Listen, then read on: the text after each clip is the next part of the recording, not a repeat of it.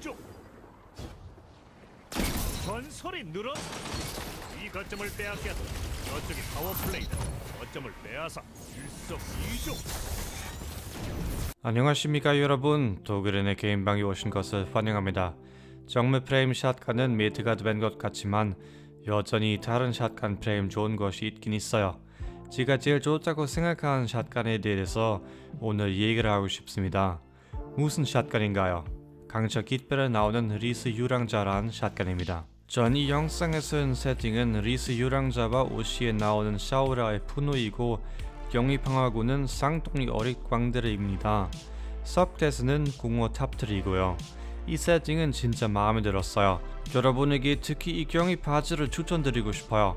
왠지 만수호자들이 입는 방어구가 아니에요. 제가 쓰는 리스 유랑자는 이런 특성이 있어요. full choke, 정밀 조준 탄약, 집중의 눈 그리고 무례한이 있어요. shotgun 사거리 nerf 후에는 특히 무례한이 더 좋아졌어요. shotgun 펀치 조합이 더 가능해져서 무례한은 작동하는 것이 쉬워졌어요.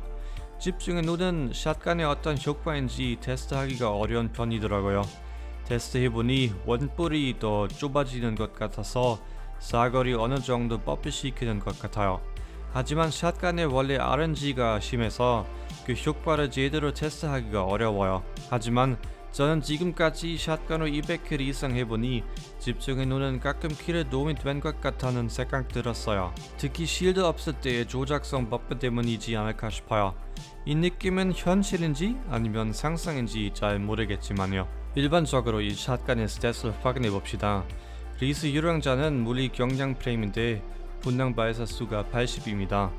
충격 65, 사거리 50, 안정성 49, 조작성 74, 재장전 속도 66, 탄창력, 조준 지원 52이고요. 조작성은 높아서 참 좋아요.